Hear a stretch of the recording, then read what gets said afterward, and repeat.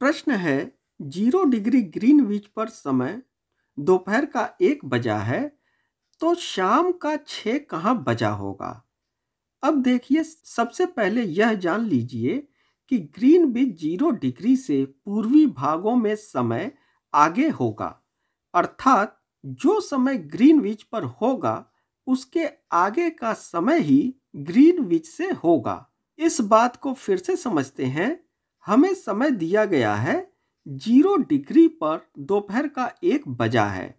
तो इससे निष्कर्ष निकला कि ज़ीरो डिग्री पर जो समय हो रहा है, उससे आगे का समय ग्रीनविच से पूर्वी भाग में और ग्रीन ग्रीनविच से पश्चिम के भाग में ग्रीन ग्रीनविच के पीछे का समय होगा। ध्यान रहे, समय ग्रीन ग्रीनविच ज़ीरो डिग्री पर दिया गया है।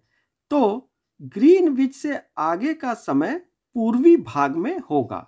अब अगर यह कहें कि भारत के मानक समय साढ़े बयासी डिग्री पर दोपहर का एक बजा है तो शाम का छः कहाँ बजा होगा?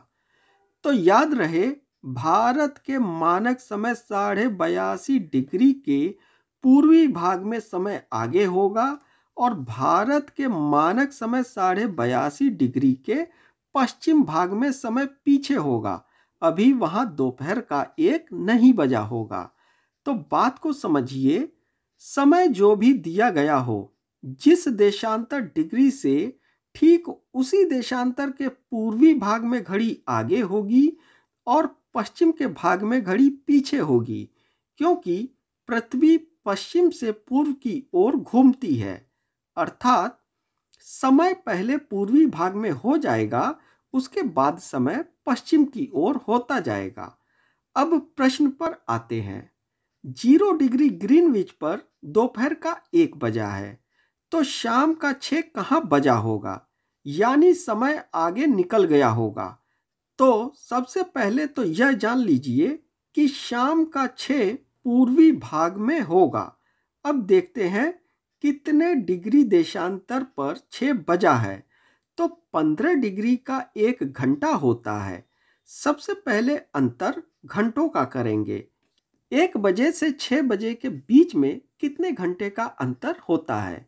तो आंसर हमारा पाँच घंटे का आता है। अब एक घंटे में पंद्रह डिग्री होता है तो पाँच घंटे में सीधे सीधे पचहत्तर डिग्री देशांतर हो जाएगा। अर्थात पचहत्तर डिग्री पूर्वी देशांतर पर शाम का छः बजा। अब चलिए इसी बात को हम एक घड़ी के माध्यम से समझते हैं।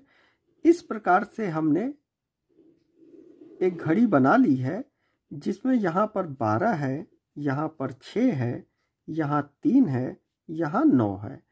अब समय गया है कि ग्रीन बीच पर एक बजा है।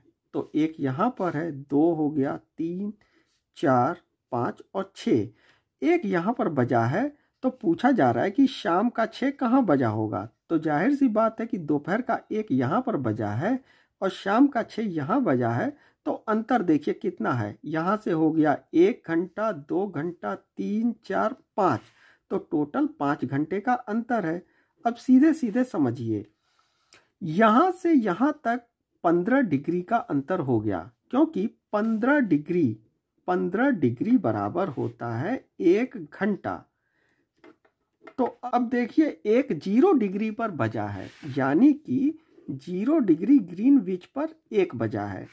तो पंद्रह डिग्री यहाँ पर हो गया, फिर तीस डिग्री यहाँ पर हो गया, पैंतालीस डिग्री यहाँ पर हो गया, साठ डिग्री यहाँ पर हो गया और पचहत्तर डिग्री यहाँ पर हो गया। यानी कि पचहत्तर डिग्री जहाँ पर होगा, वहाँ पर छः बजा है।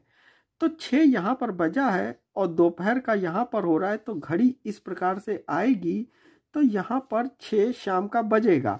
और हम देखते हैं कि यहाँ से पंद्रह, तीस, पैंतालीस, साठ और पचहत्तर होता है तो पचहत्तर डिग्री पर हमारा छः शाम का बजा होगा।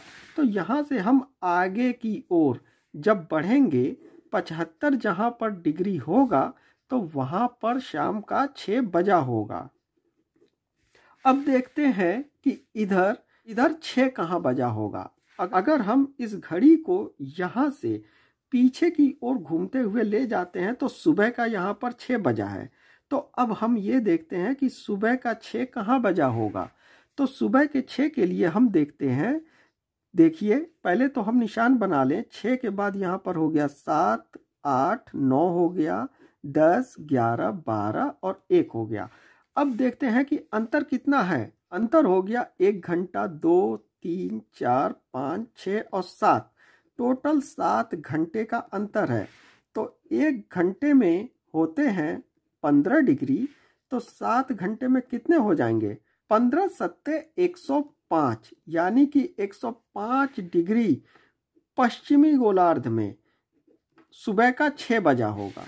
जब हम इधर की ओर एक सौ पाँच डिग्री पर आते हैं तो वहाँ पर सुबह का छ बजा होगा, जिसमें ये ज़ीरो डिग्री ग्रीनविच का स्थान है।